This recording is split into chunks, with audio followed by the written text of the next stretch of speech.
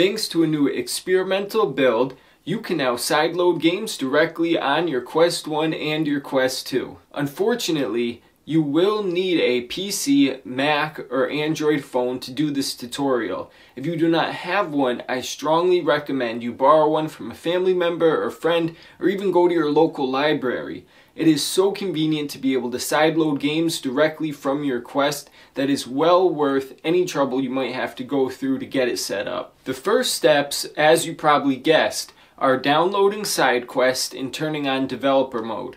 Now if you already did this, you could go and skip to step 3. If not, it's very simple to do. With your headset turned on, go to your phone, open the Oculus app, go to Menu, then Devices, then scroll down to Developer Mode, click it, and then toggle the switch on. Go to SideQuestVR.com, click Get SideQuest in the menu, and then download the appropriate file.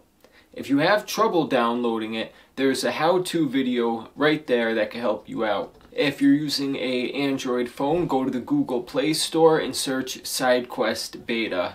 With SideQuest open and your device connected, search SideQuest Mobile.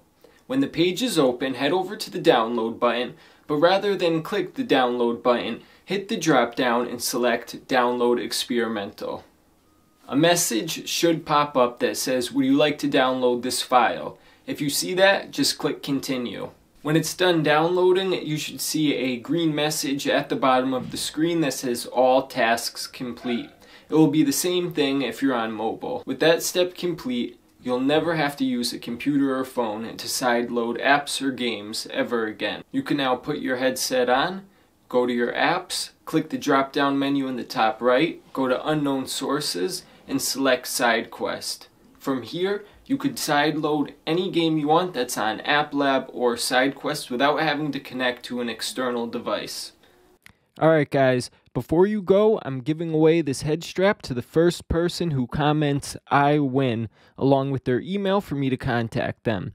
If you're seeing this, there's a good chance no one has won it yet because it's rare for someone to stay until the end of a video. Since I'm not monetized and will have to pay for shipping out of pocket, this giveaway is for people in the USA only, so I apologize to my friends across the pond. This strap has an easy one-step installation, is lightweight to reduce head and face pressure, and has a breathable leather lining material. I will also be linking it in the description below.